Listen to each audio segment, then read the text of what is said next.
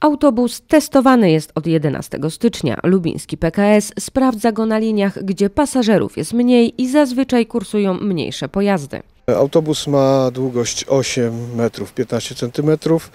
Wykorzystujemy go do y, obsługi linii 0, 2, 100, 102, 104.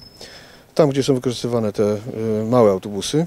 Produkowany w Turcji, Karsan Atak jest w pełni klimatyzowany. Na polskie drogi pierwszy raz wyjechał w 2017 roku. Zrywny jest, to jest 4,5 y, silnik 4,5 litrowy, 180 koni, fajnie się zrywa.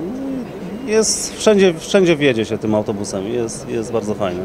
Autobus Karsan Atak jest pierwszym pojazdem testowanym w tym roku przez lubiński PKS, więc jest jeszcze za wcześnie, by mówić, czy firma zdecyduje się na zakup właśnie takiej marki. Testujemy różne autobusy, żeby mieć y, obraz, jak to wygląda, y, jak się sprawa na rynku przedstawia.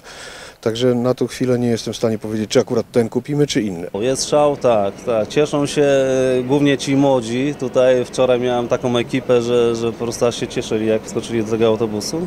No zadowoleni ludzie są. No jest, jest bardzo fajnie, bo klimatyzacja też fajnie działa, jest ciepło w autobusie.